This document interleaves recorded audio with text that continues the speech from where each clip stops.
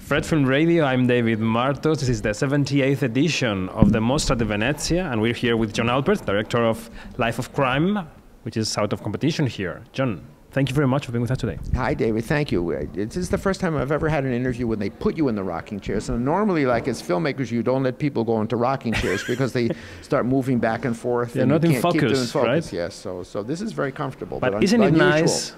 It is. You know, it, it's sort of. I, th- I might, you know, you have to ask the questions quickly because you know, pretty soon I'm going to start. anyway. So, when did you know this material you shot, you've been, you've been shooting for, for decades, was going to end up being a documentary? I didn't know it right away. We, we, we had no intention of making a documentary. This was actually going to be on um, the morning program in the United States, the Today Show. And uh, we'd done a series of, of uh, short reports about uh, alternative programs that would take young criminals and like move them away from criminal behavior. So uh, one, they would take them out to the desert and they would like drop them off in the desert and see if they could survive for two weeks. And after two weeks, they, they, um, the, the results were better than if they just kept them in prison. Uh, we, we run a program ourselves uh, that's actually very um, successful. We started in 1978, in which we teach young people to be filmmakers. Um, this year, for the first time um, ever, high school students had a documentary on a major broadcaster. Their film was on HBO about surviving COVID. Uh, 100% of our kids go to college. But, you know, I, my motorcycle is back in 1984, my motorcycle had just been stolen. Uh, somebody else I worked with, apartment, broken into. Uh, it was a big crime wave going across New York City. Who are these criminals? And why are they doing this? And so we started out just trying to understand who was committing the crimes and why they would commit them. And this was going to be a short report on the Today Show. But we met uh, Rob, Freddie, and Delirious, and the first day we, completely unprepared, were with them in a department store as they were stealing things and we were filming it. And if we would have told the story just for that morning program, it would have been superficial and sensational. And so we, we basically knew that we would have to follow them longer. And we made one program, we made a second program, and you know, then we stopped. Because we didn't want to make the same program again. Both had sort of bad endings where everybody was uh, drug addicted or in jail. Yeah, yeah. And so we started the filming again when I got a phone call from Delirious. Delirious is uh, the main star of the film. Rob and Freddie had died.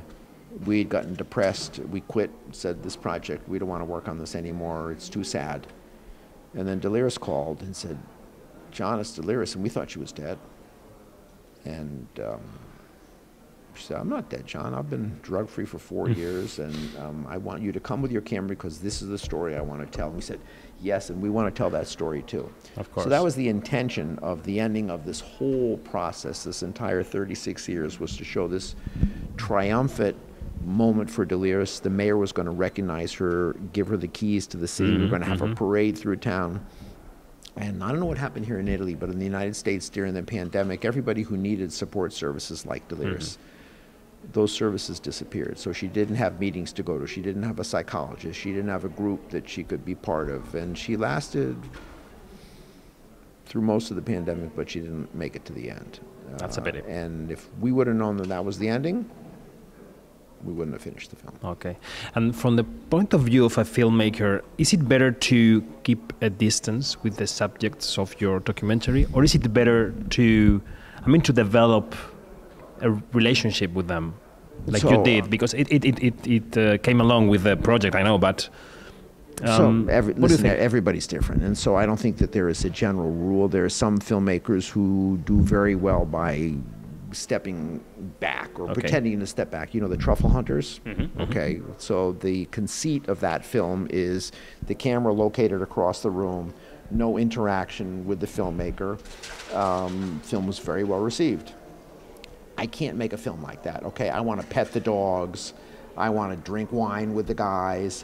I want to basically have the camera be so intimate um, that you feel like you're there participating more than observing. And so there's different styles. And Truffle Hunters was a good film, but I wouldn't make it that way, and they wouldn't. They they wouldn't and couldn't make the film the way we do.